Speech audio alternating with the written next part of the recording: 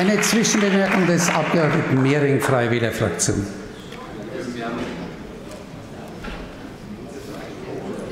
Ich verstehe Sie auch so. Ihr Organ ist wortgewaltig und. Ich verstehe Sie weder mit noch ohne Mikrofon, Herr Kollege.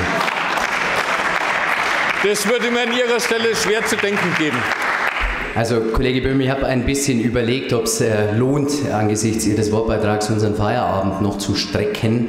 Und ähm, ehrlicherweise, wir haben Ihre Bewerbungsrede und den Fraktionsvorsitz zur Kenntnis genommen, aber ich meine, dass so etwas im Bayerischen Landtag hier im Hohen Haus nicht stehen bleiben darf. Ich äh, möchte es als persönliches Bedürfnis in dieser Zwischenbemerkung die Gelegenheit ergreifen, Ihnen zu sagen, dass es mich anwidert, wenn hier in einer Art und Weise auf dem Bierdeckel, so war Ihr Zitat, über Menschenleben gesprochen wird, wenn wenn ein Frontalangriff gefahren wird auf die evangelische Kirche, auf Menschen, die sich engagieren und wenn vom Blut, das angeblich an Händen der Abgeordneten des Bayerischen Landtags kleben würde, die Rede sei, weil wir Menschen, die sonst ertrinken, aus der See retten. Ich möchte zum Ausdruck bringen, Kollege Böhm, dass ich das eine widerwärtige Darstellung finde, die nicht nur dem Ansehen des Hohen Hauses nicht würdig ist, sondern die mich persönlich und ich glaube viele andere Kollegen auch massiv beleidigt.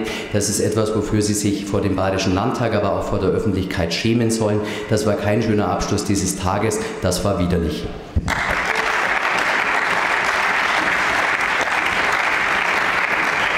Lieber Kollege, lieber Kollege zu